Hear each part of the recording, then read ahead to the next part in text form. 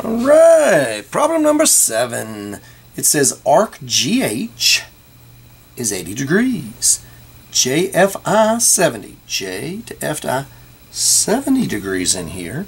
And HI 100 degrees. What is G to J? What is this arc right here? Well, if this is 70 degrees, I know right here is 110 because that's a straight line. So you'd have 70, 110, 70, 110. So they gave me the angle on the inside. And I know this angle was determined when it's on the inside. It's basically this arc over here plus that arc there cut in half, cut in two, so multiplied by a half.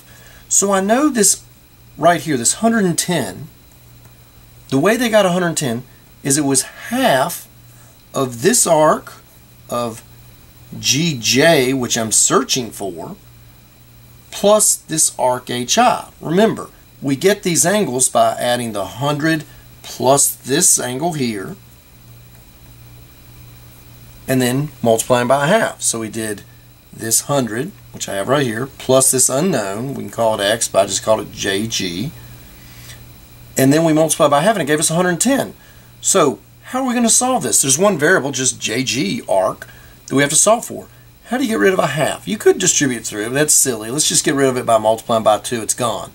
But if I multiply this side by 2, i got to multiply this side by 2. In other words, we knew half of 220 was going to give us the 110 we needed. So 2 times that's 220. See, 220 is going to be what GJ was plus 100. Because again, I knew half of 220 would give me the 110. So I can see that this has come out to be 220. Subtract your 100, subtract your 100, and it's obvious that your answer is 120 degrees. This guy here has to be 120 because 120 plus 100 is 220 and half of that gives me the 110. And that's how we get problem number 7.